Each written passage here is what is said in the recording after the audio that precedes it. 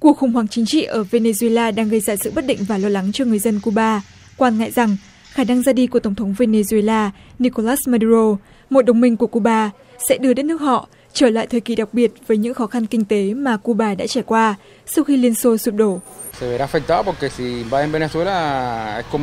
Cuba sẽ bị ảnh hưởng bởi vì nếu họ xâm lược Venezuela thì quan hệ và viện trợ dầu thô sẽ bị cắt đứt. Điều đó sẽ có ảnh hưởng.